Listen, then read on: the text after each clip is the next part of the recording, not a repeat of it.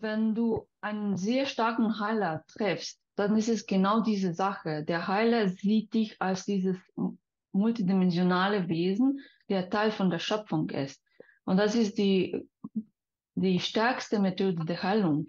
Und dadurch, da er dich als solches sieht, eröffnet sich ein neues Energiefeld, wo du dich selbst auch als solches sehen kannst. Und das ist dann die Heilung. Die, das ist die Heilung auf der höchsten Ebene, wo wir dann auch sehr schnell in die Multidimensionalität äh, hineintreten können, wenn wir es erlauben. Ja, das ist wirklich sehr wichtig. Wir haben freien Willen. Wir können auch sagen, okay, ich glaube nicht an diese Sachen. Aber das ist Realität. Was macht uns unglücklich hier auf der Erde? Äh, das Gewissen oder sagen wir mal jetzt das nicht Bewusstsein, dass wir multidimensional sind. Wir wissen es tief in unserer Seele, wir sind definitiv Teil von etwas Größerem. Deswegen ist diese Belonging, also dieses Zugehörig, diese Zugehörigkeit ist so wichtig für uns alle, weil wir wissen tief in uns, wir gehören zu etwas sehr Wichtigem dazu.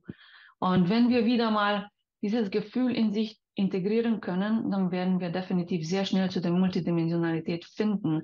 Aber der erste Schritt ist immer in uns. Ich muss mich erstmal entscheiden. Ich habe den freien Willen. Ich kann durch den freien Willen die komplette äh, Abschiedenheit erfahren oder die Separation oder ich kann in den Weg gehen, wo ich wieder mal diese ähm, Zugehörigkeit zu dem Göttlichen, zu der Divine finden kann. Ehrlicherweise bin ich jeden Tag im, in, im Heil, Heilungsprozess, ja. Es geht immer darum, dass wir noch einen kleinen Teil heilen können. Aber wenn ich jetzt in die größten Momente hineinschaue, war der erste definitiv, da war eine Frage oder sagen wir mal jetzt äh, ein Satz, der jemand zu mir gesagt hat. Und der hat gesagt, du bist nicht deine Gedanken. Dann habe ich gesagt, okay, wer bin ich denn, wenn ich nicht meine Gedanken bin? Also es ging mehr darum, du bist nicht dein Ego. Da gibt es noch sehr viel mehr unter dem Ego. Das war die erste Frage, die ich mir sehr tief gestellt habe. Und da habe ich nachgeforscht. Da habe ich sehr, sehr tief in mir nachgesehen und habe da gesehen, okay, da gibt es sehr viel mehr, ja.